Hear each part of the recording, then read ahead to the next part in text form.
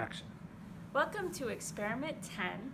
In this experiment, it is broken down into part A, part B, and part C. So we're going to start with part A, which the beginning of part A is we're going to take a Kool-Aid mixture. And so we've already weighed this out, and it's 0.1098 grams of my Kool-Aid mixture. Okay, so now we're going to add this to a volumetric flask. Our volumetric flask is measured to measure one amount, okay? So you have a very small line on this, and this line is calibrated to be exactly 100.00 milliliters, okay? So we're going to start by taking our Kool-Aid mixture, and we're gonna be diluting it using deionized water we want to make sure we get all of that Kool-Aid mixture into my beaker. So we're going to dilute it with less than 100 milliliters. Okay. So if you were in lab, you would smell the very grape Kool-Aid flavor. It smells very good.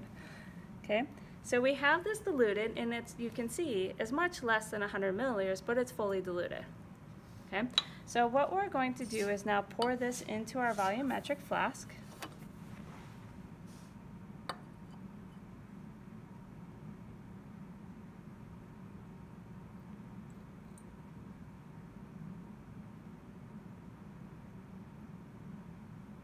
Okay. And now to make sure that we've transferred all of it, we're going to rinse out our beaker. And so this is why we're always making sure we use less volume than the total volume that we want to dilute it to. Okay. Do one more rinse just to make sure. Okay. So now what we need to do is we want to bring up our total volume to 100 milliliters.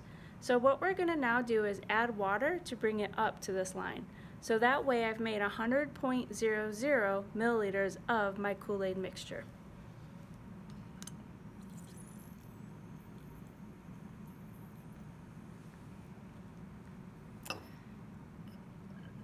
So we will pour it to make it go faster.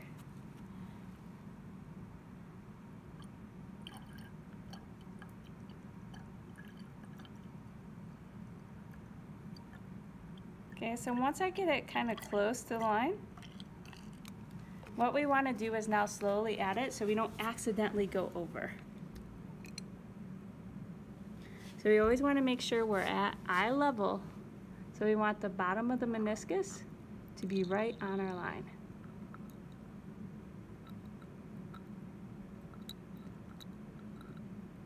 There we go. So now we have 100.00 milliliters of our solution. But to make this a true solution, we always want to make sure that it's nice and homogeneous. So we'll mix it.